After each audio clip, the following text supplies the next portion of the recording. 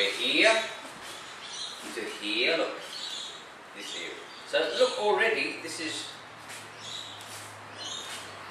in, into there. I'm, I'm, I'm striking him basically in the groin area with my hip. So instead of that now, I'm just here.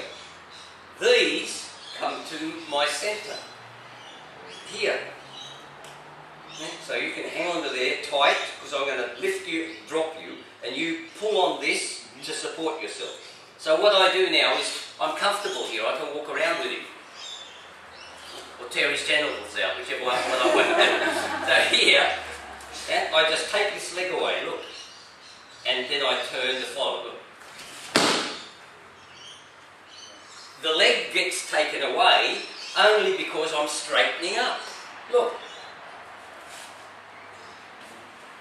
You understand? So I'm like this, and to take that leg away, I straighten up and watch him with my centre.